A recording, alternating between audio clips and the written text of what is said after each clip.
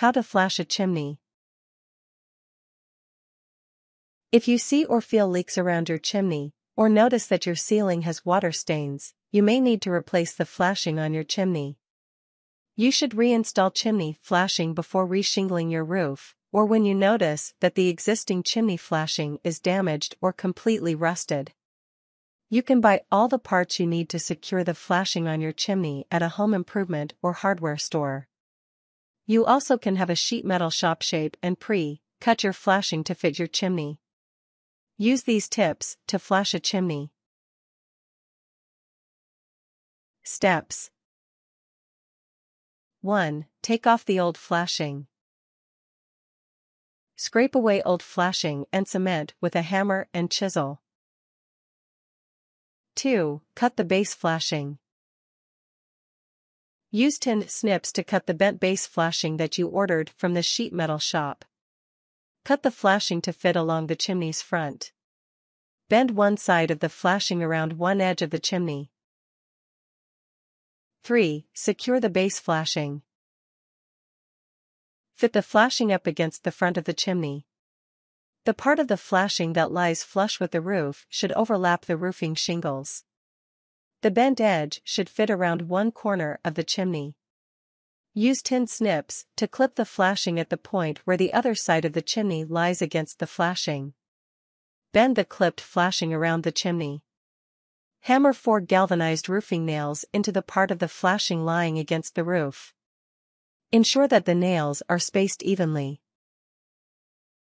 4. Attach the corner and step flashing.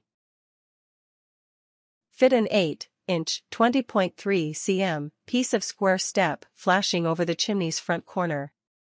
Set the flashing aside. Place a small drop of caulk where the roof and chimney meet at the chimney corner. Place the step flashing over the caulk and onto the chimney. Hammer two roofing nails into the flashing and roof. Secure a shingle over the corner flashing using a hammer and roofing nail. Place a second piece of 8 inch 20.3 cm flashing against the chimney.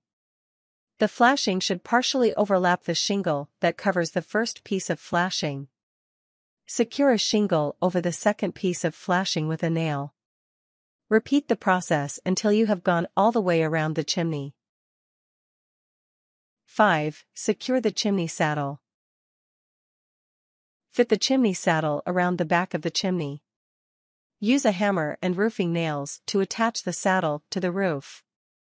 Insert roofing nails into the saddle and roof every 6 inches, 15.2 centimeters.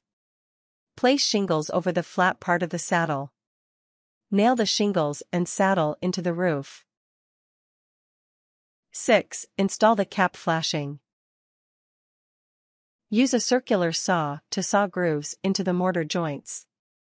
The groove should be 1 inch, 2.5 centimeters, deep. Saw as high as the height of the cap flashing. Fit the front cap flashing around the front of the chimney. Bend the cap flashing around the front of the chimney. Secure the cap flashing by inserting the flashing's flange all the way into the mortar. Drill a hole on each side of the chimney front. Hammer the plastic anchors into the holes. Repeat the procedure around each side of the chimney. Ensure that each new piece of cap flashing overlaps the previous one. Place caulking along the mortar joints to seal the flashing. Tips Measure the dimensions of the chimney and the slope of the roof before ordering the flashing pieces from a sheet metal company. Wear safety goggles and work gloves when installing flashing. Things. Hammer. Chisel. Pre-ordered chimney flashing and saddle. Tin snips. Galvanized roofing nails. Shingles. Caulking. Circular saw. Drill. Plastic anchors